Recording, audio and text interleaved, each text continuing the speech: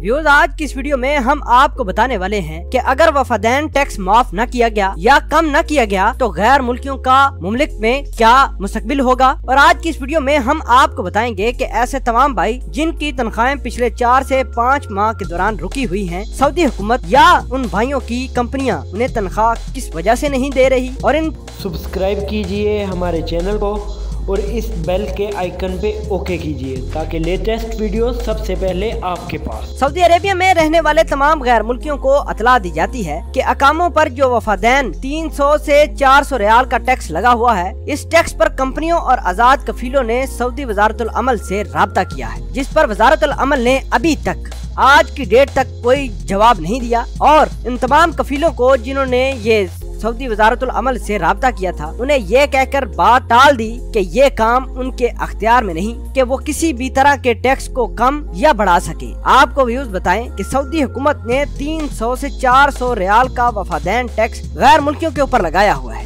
یہ سراسر غیر ملکیوں کے ساتھ زیادتی ہے۔ جب غیر ملکی بھائیوں نے اپنے کفیلوں کے ساتھ رابطہ کیا تو کفیلوں نے پہلے تو بات نہیں بانی اور پھر آخر میں کفیلوں نے سعودی وزارت العمل سے رابطہ کیا۔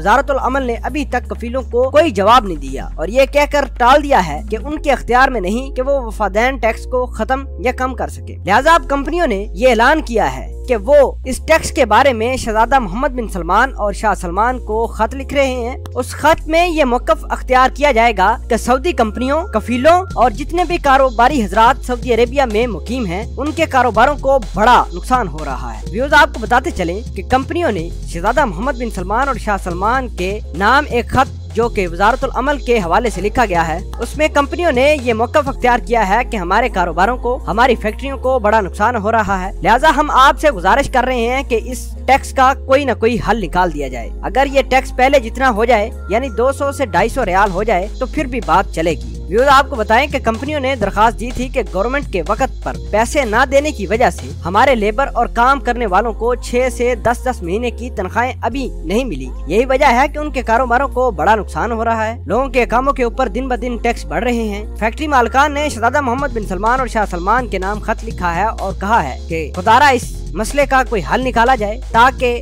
ہمارے کاروبار چل سکے انہوں نے یہ بھی بات بھی کی کہ یہ ٹیکس کا مسئلہ جو کاموں پر لگایا ہے، یہ ہمارا بہت بڑا مسئلہ ہے۔ فیکٹری مالکان کا کہنا تھا کہ ہم آپ سے گزارش کرتے ہیں کہ ہمارے اس مسئلے کو جلد از جلد حل کیا جائے تاکہ جو ہمارے بھائی، جو ہمارے پردیسی بھائی کی تنخواہیں ان کو نہیں ملی، تو وہ تنخواہیں ہم ادا کر سکیں۔ آپ کے خیال کے مطابق سعودی حکومت نے وفادین کے اوپر ٹیکس لگا کر کتنا بڑا ظلم غیر ملکیوں پر کیا ہے؟ کمنٹ سیکشن میں اپنا اظہار خیال ضرور پوسٹ کرنا۔ ملتے ہیں ایک نئی ویڈیو میں، تب تک کے لیے آپ سے اجازت چاہتے ہیں۔ اللہ نے کے